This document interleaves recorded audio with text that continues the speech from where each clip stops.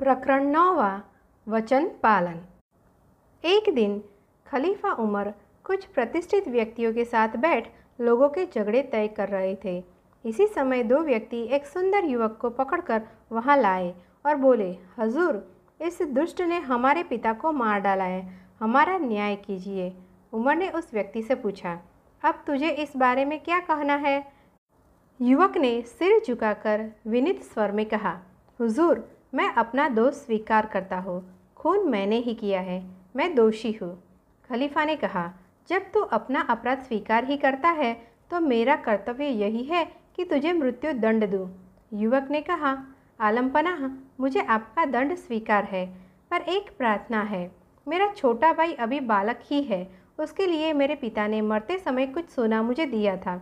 मैंने यह सोचकर कि जब वह बड़ा होगा तो उसे दे दूँगा। वह सोना ज़मीन में गाड़ दिया। यह भेद सिवा मेरे और कोई नहीं जानता। यदि आप मुझे तीन दिन की मोहलत दे तो मैं अपने भाई की अमानत उसे सौंप कर वापस लौट आऊँगा। उमर बोले, किसी की जमानत दे सकोगे? युवक ने खलीफा तथा अन्य लोगों की तरफ़ देखा। अंत में अबूजर साहब की ओर इशारा कर बोला, यह बुज़ुर्ग मेरे जामीन हो जाएँगे। खलीफा ने अबूजर से पूछा, अबूजर, तुम इस युवक की जमानत लेना स्वीकार करते हो? अबूजर ने उत्तर दिया हाँ मैं इस बात का जामिन होता हूँ कि यह युवक तीसरे दिन यहाँ उपस्थित हो जाएगा। हज़रत उमर ने उस युवक को छोड़ देने की आज्ञा दे दी। तीसरा दिन हुआ। खलीफा उमर, अबूजर तथा अन्य लोग उस युवक की राह देख रहे हैं। समय बीत रहा है।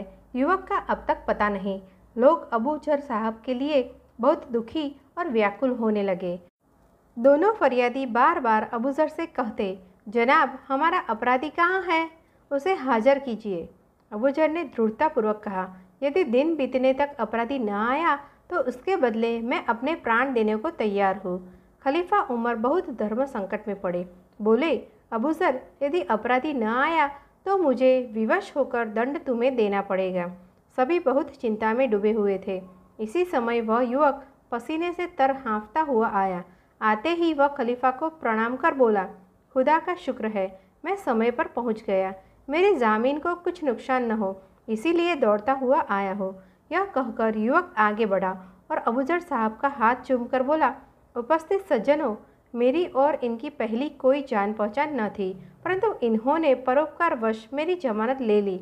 अबूजर ने कहा, बेशक, मैं इस युवक को नहीं जानता था, परंतु जब इसने भरी सभा में मेरे ही ऊपर विश्वास किया तो इसे निराश करना मुझे अनुचित मालूम हुआ। मुझे इसका चेहरा देखकर ही ऐसा लगा कि यह अपना वचन पूरा करेगा। यह दृश्य देखकर फरियादियों को भी दया आ गई। उन्होंने हज़रत उमर से कहा, आप इसे छोड़ दे। हमने इसे माफ़ किया। ईश्वर जाने क्यों कर ऐसे बात के धनी से ऐसा अपराध हो गया? हज़रत उमर बहुत प्रसन्न हुए। उन्होंने उस युवक को छोड़ दिया। सच बोलने के कारण हमें कितने ही संकटों का सामना क्यों न करना पड़े, पर घबराना नहीं चाहिए। अंत में सत्य की ही विजय होती है। प्रकरण दसवा। ढोंगी गधा एक गधा और गीदड़ आपस में मित्र थे। एक दिन वे वन में घूम रहे थे। रास्ते में उन्हें एक मरे हुए शेर की खाल पड़ी मिली। गीदड़ ने मन में विचार किया, मेरे तो यह बड़ी होगी।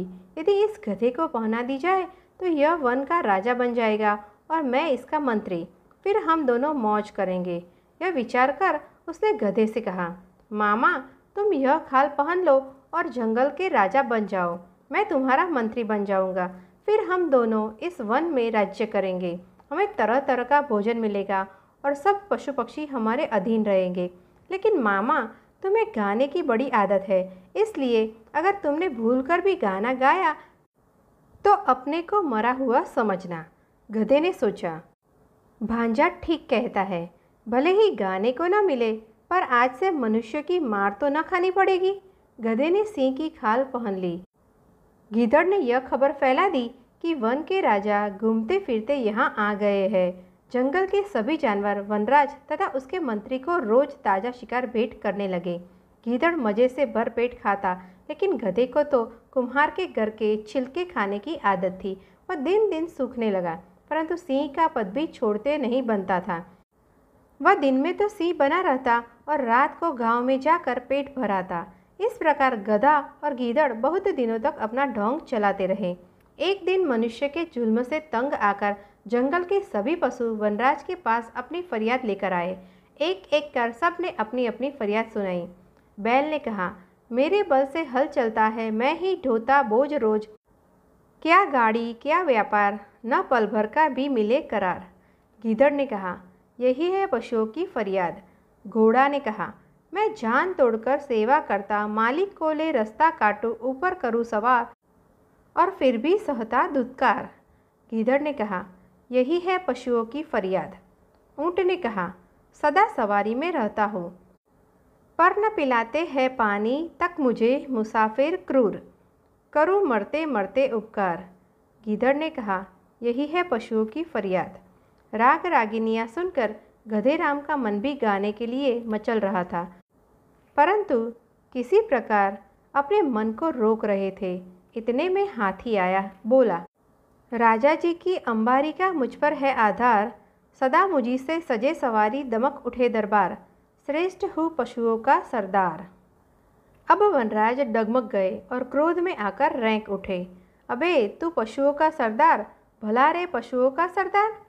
तभी सब पशु एक साथ बोल उठे, अरे, यह तो गधा है गधा, मारो इसे, मारो। गीदड़ और गधे से भागते न बना। सटता और मूर्खता इन दोनों के मिलने से ढोंग बनता है और ढोंग अंत में खुल अवश्य जाता है और उसका कुफल भी भोगना पड़ता है। मूर्ख होने का दावा करना गरीब होने पर अमीरों की तरह रहना, ये सब ढोंग है। तुम कोई प्रश्न न समझो, पर यह कहने के बदले कि तुम नहीं समझे, ऐसा दिखाओ कि समझ गए हो तो यह भी एक ढोंग ही होगा। ये सब झूठ के ही स्वरूप है। प्रकरण ग्यारह, राजा कैन्यूट। इंग्लैंड में कैन्यूट नाम का एक प्रतापी राजा था। वह बहुत शूरवीर और विनम्र था। वह सदा ईश्वर से डरकर चलता था। उसके दरबार में कुछ खुशामदी दरबारी भी थे। वे हमेशा उसकी झूठी प्रशंसा कर लाभ उठाने की चेष्टा में रहते थे। कैन्यूट को अपनी प्रशंसा जरा भी प्रिय न लगती। एक दिन उसने सोचा कि इन मूर्ख खुशामदियों की यह आदत छुड़ानी चाहिए। उसी दिन राजा अपने दरबारियों को लेकर समुद्र के किनारे सैर करने निकला। दरबारियों ने कहा, महाराज, आपकी शक्ति का क्या कहना? आप पृथ्वी ही नहीं, समुद्र के भी राजा है। यह भी आपकी आज्ञा मानते हैं। कैनिट को यह सुनकर बहुत क्रोध आया, लेकिन कुछ न बोला। उसने एक कुर्सी लाने की आज्ञा दी। समुद्र के किनारे कुर्सी रखवाकर वह उस पर बैठ गया। धीरे धीरे समुद्र की लहरें चढ़ने लगी। तब कैन्यूट ने अपना राजदंड दिखाकर कहा, रे समुद्र, तू मेरी आज्ञा न मानेगा? जा पीछे हट जा। परंतु पानी बढ़ता ही चला आया। राजा के पैर भीग गए। तब राजा ने अपने दरबारियों से कहा अरे खुशामदियो, तुम समझते हो कि मैं तुम्हारी खुशामद से खुश होता हूँ? पृथ्वी, सागर, पर्वत आदि सृष्टि ईश्वर ने बनाई है, वही इसका राजा है।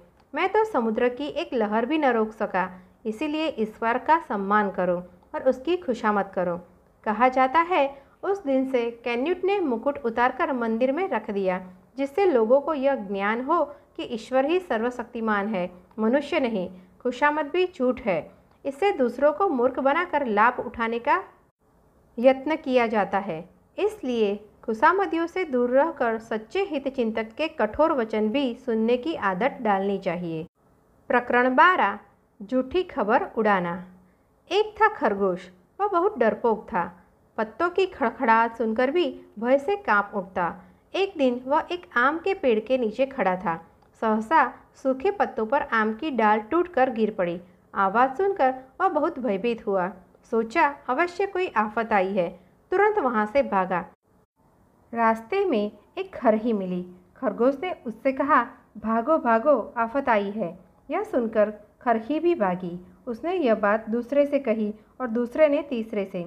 इस प्रकार बात फैलती गई। खरगोश से हिरणों में, हिरणों से बकरों में, बकरों से भैंसों में भैंसों से ऊँटों में, ऊँटों से हाथियों में, अंत में यह खबर वनराज सिंह के कान तक पहुँची।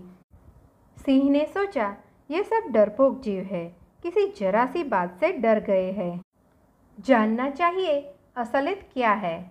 सबसे पहले उसने हाथी से पूछा, गजराज, तुम्हें कैसे मालूम हुआ कि आफत है? हाथी ने कहा, महाराज, मुझसे तो ऊँट ने कहा था। ऊँट से पूछा तो बोला, महाराज मुझसे तो भैंसे ने कहा था। भैंसे ने कहा, मैंने कुछ नहीं देखा। बकरी ने मुझसे कहा था। इस प्रकार एक एक कर सबसे पूछने पर पता चला कि यह बात सबसे पहले खरगोश को मालूम हुई थी। तब सिंह ने खरगोश से पूछा। वह बोला, राजन, मैंने अपनी आँखों से देखा है। सिंह ने पूछा, कहाँ? खरगोश ने कहा, उस वृक्ष के नीचे, परंतु मुझे वहाँ जाने में डर लगता है। सिंह ने कहा जब मैं साथ हूँ तो डर कैसा? चल, मैं तेरे साथ चलूँगा। सिंह खरगोश को अपनी पीठ पर बैठाकर वृक्ष के पास ले गया। वहाँ देखा कि आम की एक टूटी डाल नीचे पड़ी है। सिंह ने समझ लिया। अवश्य इसी की आवाज़ से यह डर गया होगा। उसने डाल को उठाकर पुनः उछाला। डाल गिरने पर पुनः वैसी ही आवाज़ हुई। तब सिंह ने पूछा, तुम्हारी आफत यही थी या कोई दूसरी? खरगोश बहुत लज्जित हुआ। उसका डर निकल गया। उसने लौटकर खरही से कहा, भाई, आफत की बात झूठी थी। उसने हिरन से कहा, हिरन ने बकरे से और फिर वन में सभी पशुओं को असली बात मालूम हो गई, सब शांत हो गए। झूठी खबर से लोगों में व्यर्थ ही भय समा जाता है और वे परेशान होने लगते हैं। प्रकरण तेरह, जादू की अंगूठी। एक गाँव में एक किसान रहता था, उसके पास बहुत ही थोड़ी ज़मीन थी इसीलिए उसके हाथ तंग रहते थे। एक दिन प्रातःकाल अपने खेत में काम करने गया। देखा, प्यास से तड़पती हुई एक वृद्धा स्त्री भूमि पर बेचैन पड़ी है। उसका हृदय दया से पिघल गया। उसने अपने कुएँ से पानी लाकर बुढ़िया के मुँह में डाला। थोड़ी देर में बुढ़िया ने आँखें खोली और उठ खड़ी हुई। किसान को बारंबार धन्यवाद दिया। फिर बोली, भाई, यदि तुझे कोई दुख हो तो मुझसे कह। मैं उसे दूर कर तेरे उपकार का बदला चुकाऊँ किसान बोला, माँ, मैं बड़ा निर्धन हूँ। मुझे कोई ऐसा मार्ग बता जिससे मेरी दरिद्रता मिटे। किसान की बात सुनते ही बुढ़िया ने उसे एक सोने की अंगूठी दी और कहा, ले, यह अंगूठी जादू की है। बहुत दिन हुए मुझे एक सन्यासी ने दी थी। जब तू इसे उंगली में पहनकर घुमाएगा तो जो इच्छा उस समय तेरे मन में होगी तुरंत पूरी हो जाएगी। परंतु याद रहे, इस अंगूठी का उपयोग केवल एक बार ही हो सकता है, इसलिए पक्का निश्चय किए बिना उपयोग न करना। इतना कह बुढ़िया एक ओर चली गई। किसान हर्ष में डूबा अपने घर की ओर चला। राह में उसका एक सुनार मित्र मिला। उसने उस अंगूठी की कीमत पूछी। सुनार ने उसकी कीमत बहुत कम बतलाई। इस पर किसान बहुत हंसा और बोला, इस अंगूठे की कीमत तो दस करोड़ रुपये भी कम है। यह जादू की अंगूठी है। सुनार ने कहा, यार, इसका कुछ रहस्य मुझे भी तो बताओ। यह तो अनोखी वस्तु होगी। किसान सीधा साधा था। उसने जो कुछ खेत में हुआ, बता दिया। सुनार कपटी तथा लोभी था। उसकी नीयत बिगड़ी। उसने घर जाकर वैसी ही एक दूसरी अंगूठी तैयार कर ली। फिर एक दिन किसान से वह अंगूठी अपनी स्त्री को दिखलाने के बहाने मांग लाया और अपनी बनाई अंगूठी किसान को वापस भेज दी। दूसरे दिन सुनार बिना परिश्रम के धनवान बनने के लोभ से अपनी दुकान के द्वार अंदर से बंद कर अंगूठी को उंगली पर फेर कर बोला, मेरी इच्छा है यह दुकान तुरंत सोने की एक करोड़ मुहरों से भर जाए। सुनार के मुख से ये शब्द निकलते ही थे कि चारों तरफ़ से दुकान में सुवर्ण मोहरों की वर्षा होने लगी। वे मुहर सुनार के सिर और पीठ पर तड़ातड़ गिरने लगी। अंत में सुनार स्वर्ण मोहरों के नीचे दबकर मर गया। किसान की स्त्री उससे बारंबार अंगूठी द्वारा लखपति बन जाने का आग्रह करती किसान ने उसे समझाया, जब हम वृद्ध हो जाएँगे और हमारे शरीर की शक्ति मंद पड़ जाएगी, तब हमें अंगूठी का उपयोग करने की असली ज़रूरत पड़ेगी। अभी तो हम जवान हैं, हमें बिना अंगूठे की सहायता लिए केवल अपने परिश्रम पर निर्भर रहना उचित है, क्योंकि इस अंगूठी का उपयोग केवल एक ही बार हो सकता है। स्त्री को अपने पति की बात युक्ति संगत लगी। किसान और उसकी स्त्री वृद्ध होने तक उद्योग करते रहे और एक दिन मर गए। उन्हें अंगूठे की सहायता से धन कमाने की आवश्यकता ही न पड़ी। मरते समय वह पहले से लाख गुनी संपत्ति छोड़ गए, क्योंकि वह उद्योग करने के साथ बचत करना भी जानते थे। जो शट्टापूर्वक बिना उद्यम किए धन एकत्र करता है, वह धन के ढेर में दब कर मर जाता है। संकट के समय ईश्वर मेरी सहायता करेगा। ऐसी शुद्ध बुद्धि पर भरोसा करना ही सच्ची जादू की अंगूठी है, जो आत्मविश्वास के साथ अपने पुरुषार्थ, लगन और परिश्रम द्वारा धन कमाता है, वह सदा सुखी रहता है। प्रकरण चौदह, उद्योग और नाभाग की कथा। उद्योग, बगदाद में इब्राहिम नामक एक मौलवी रहते थे। एक बार उनके पास एक हट्टा कट्टा भिखारी भीख मांगने आया। इब्राहिम ने उससे पूछा, क्यों भाई क्या तेरे पास कुछ भी नहीं है? भिखारी ने उत्तर दिया, नहीं हुजूर, मेरे पास केवल एक चटाई और लोटा है।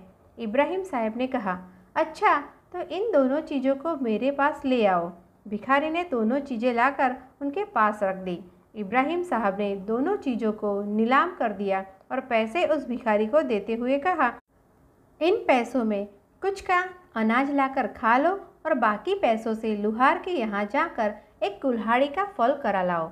भिखारी पेट भर अन्न खाकर लुहार के यहाँ गया और कुल्हाड़ी का एक फल तैयार करा लाया। मौलवी साहब ने एक लकड़ी उस फल के छेद में ठोक दी। कुल्हाड़ी तैयार कर उस भिखारी को दी और बोले, जा, इसे लकड़ी चीरकर अपनी जीविका चला। जो धन पसीना बहाकर पैदा किया जाए, वही सच्चा धन है। नाभाग की कथा। महाराज मनु के पुत्र का नाम नभग था। नभग के कई पुत्र थे। सबसे छोटे का नाम नाभाग था।